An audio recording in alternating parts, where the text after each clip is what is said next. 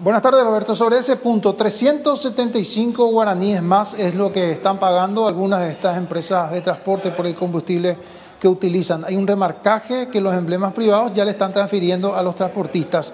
A raíz de esto se plantea esta suba del pasaje y hay que ver con este tema del subsidio finalmente quién va a pagar esa diferencia si es que hay un incremento del precio del pasaje.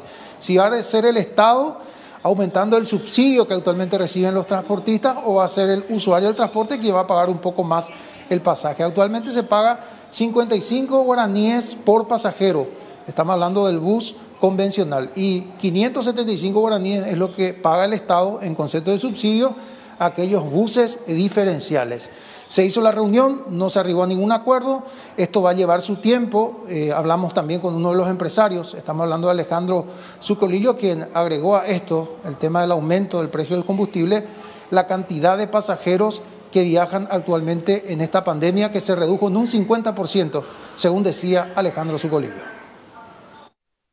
Obviamente lo que más impacta acá es la cantidad de pasajeros que se transportan, que está en menos de un 50% de lo que estaba antes de la pandemia.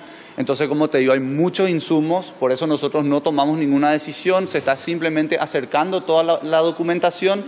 Probablemente haya una conversación desde el Estado y desde el Viceministerio de Transporte con los gremios, con el MIC, eh, con el, equipo económico, con muchos actores para poder finalmente tomar una decisión técnica. Lo importante es que la decisión sea la correcta que sea una decisión técnica respaldada en hechos, por eso acercamos nosotros nuestras facturas, para que sea un insumo más, un condimento más dentro de toda esta evaluación.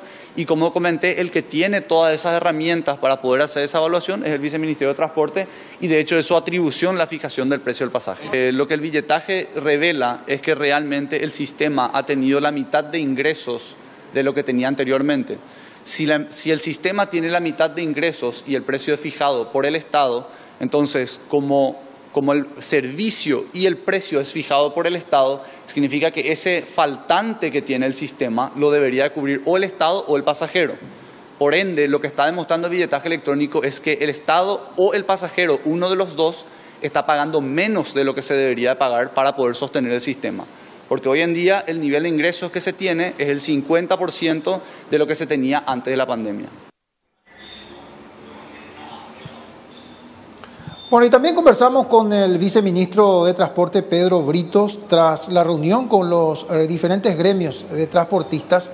El viceministro de Transporte señalaba de que ya técnicos del viceministerio de Transporte a su cargo ya eh, están en comunicación, en contacto permanente con los integrantes del equipo económico del gobierno, que finalmente va a ser el órgano que va a tomar la decisión si se reajusta o no el precio del pasaje. Lo que decía al respecto el viceministro de Transporte, Pedro Britos. Eso es sometido a un análisis, a, una, a un debate intenso y finalmente se toma la decisión, ¿verdad? Yo creo, acá la idea eh, y la conversación se centró en transmitirle tranquilidad a la ciudadanía, a los usuarios del transporte.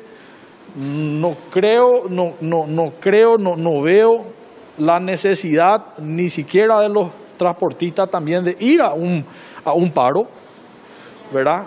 Acá hay que hacer como siempre se hizo. Solamente que creo que en esta oportunidad hubo un error de estrategia de anunciar un paro, porque eso alarma a la ciudadanía.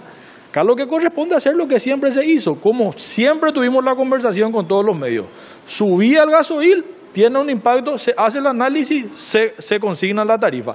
Baja el gasoil, baja, tiene un impacto para abajo, se hace el análisis y, baja el precio. Lo, lo definitivo lo que hemos visto es el ajuste de 375 guaraníes en las facturas que han arrimado para eh, demostrar de que hubo un aumento de gasolina del sector de transporte.